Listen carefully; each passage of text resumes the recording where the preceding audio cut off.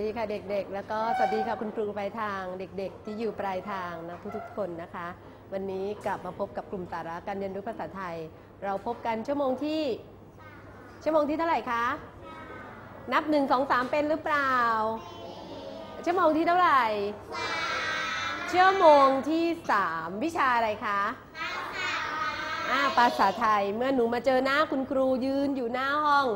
แสดงว่าชั่วโมงนี้ต้องเป็นชั่วโมงวิชา ภาษาไทยนะคะ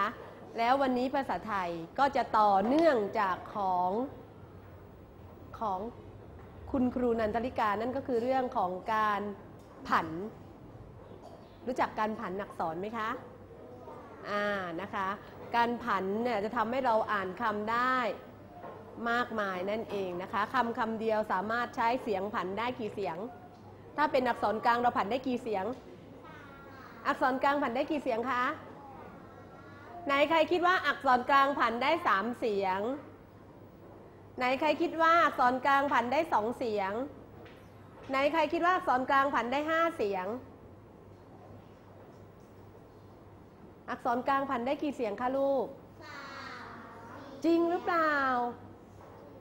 โอ้คุณครูนันทิกาเสียใจแย่เลย สอนลูกศิษย์มาแล้วลูกศิษย์บอกว่าอักษรกลางผันได้แค่ อ่าแล้วงั้นเสียงของวรรณยุกต์มีทั้งหมดกี่เสียงคะห้าเสียง เพราะฉะนั้นห้าเสียงนี้กลุ่มอักษรอะไรที่ผันได้ครบห้าเสียง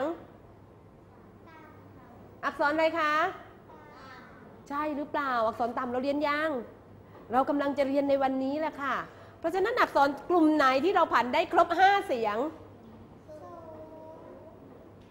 อักอักษรอะไร อักษรอะไรกากากากากากอไก่อยู่ในอักษรอะไรคะกอไก่อยู่ในอักษรหมวดไหน อักษรสูงอักษรกลางอักษรต่ำอักษรกลางมันผันกากากากากา เพราะฉะนั้นผันได้กี่เสียง เพราะฉะนั้นกลุ่มอักษรกลุ่มไหนที่ผันได้ครบห้าเสียง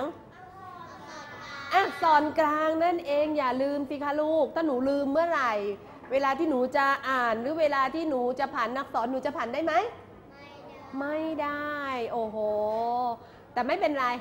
ตอนนี้เราเพิ่งเริ่มเรียน เพราะฉะนั้นเมื่อเริ่มเรียนก็ยังไม่ ยังไม่อะไรคะ ยังไม่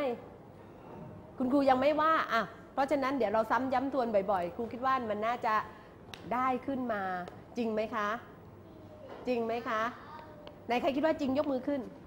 ไหนใครคิดว่าไม่จริงซ้ำย้ำบ่อยๆ หนูก็ลืม หนูก็เอากลับไปทิ้งที่บ้าน หนูก็เอากลับไปทิ้งในถังขยะ ในความรู้ใครเอาทิ้งถังขยะบ้าง ไหนใครให้โจรมาปล้นไปเลยความรู้ของเราเอาไปเลย โจรเอาไปเลย โจรปล้นได้ไหมคะ ความรู้ไม่ได้ เหมือนหนูถีบจักรยานเป็นเนี่ยหนูปั่นจักรยานได้เนี่ย ส่วนหัวหน้าห้องหัวหน้าห้องชื่ออะไรคะอ่าเอกสิทธิ์ปั่นจักรยานไม่เป็นเอกสิทธิ์จะมาบอกอหนู แป้งบอกว่า เราจะแย่งเธอนี่แหละ เราจะเอาความรู้ของเธอที่เธอปั่นจักรยานได้เนี่ยเอามาได้ไหมคะ ไม่ได้ เอกสิทธิ์ต้องไป ฝึกถึงจะปั่นจักรยานได้ เช่นเดียวกับความรู้ที่เรียนในห้องเรียนนี่แหละค่ะ ไม่มีใครเอาของเราไปได้ ถ้าเรา ถ้าเรา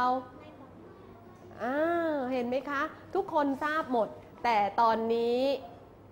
นั่งตัวตรงกันหรือเปล่าเนี่ยไหนใครคิดว่าตัวเองนั่งไม่ตรง ไหนใครยังคิดว่าตัวเองยังไม่ตั้งใจอ้าวคาถาเรียนเก่งหนึ่งเที่ยวจำได้ไหมคาถาเรียนเก่ง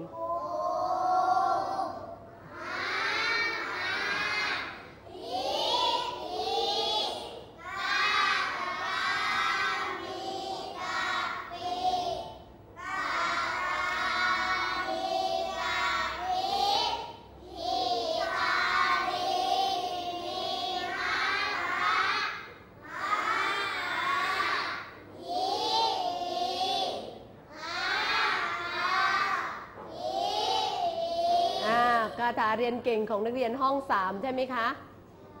คาถาเรียนเก่งจริงๆเนี่ยต้องอะไร ต้องใช้ประสาทสัมผัสของเราทั้งหมดเลยสองตา ดูสอง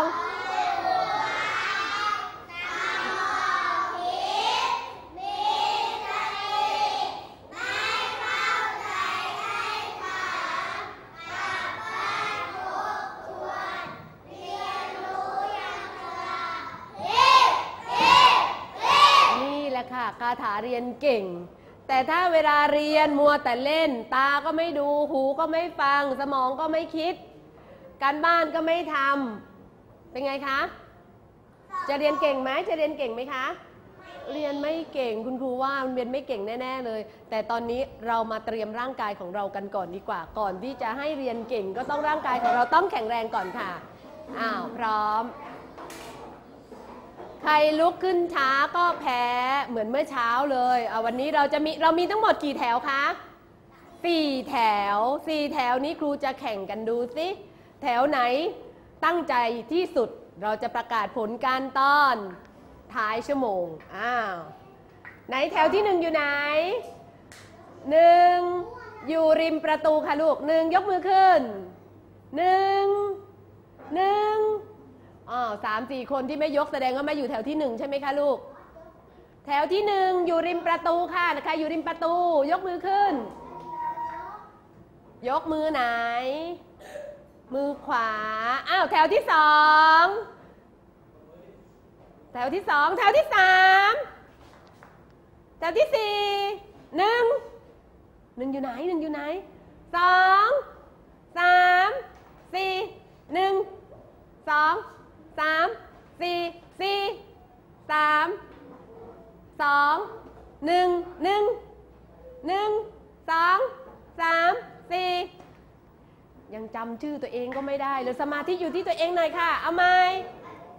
หนึ่งหนึ่งอยู่ตรงไหนสองสามสี่สี่สามสองหนึ่งอ้าว ไปกับหนูมาลีก่อน พาหนูมาลีกับแมวของเธอไปเที่ยวกันก่อนนะคะ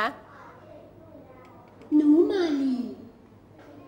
แม่หนูมาลีมีลูกแมวหนูรูปร่างแบบเปรียวเดี๋ยวเดินเดี๋ยววิ่งน้ำชอบกินปลาร่าเริงจริงๆพ่อผูกกระดิ่งกรุงกริ่งชอบใจ เจ้า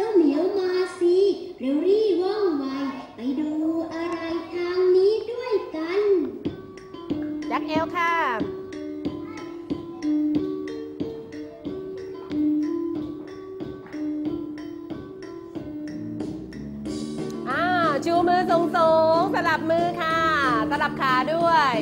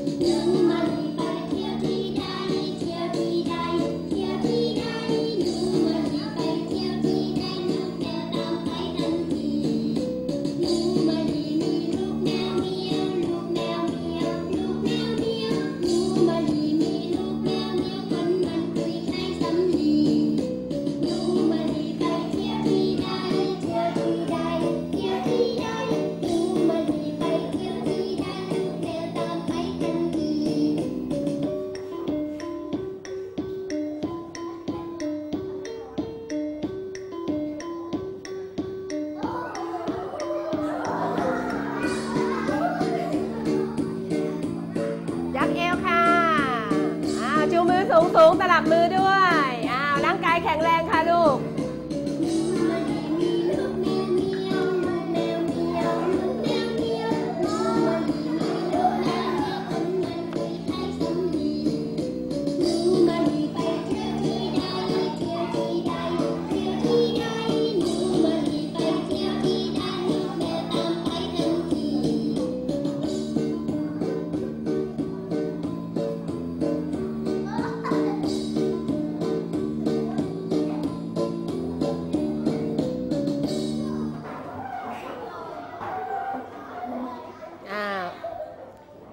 ปรบมือให้ตัวเองดังๆ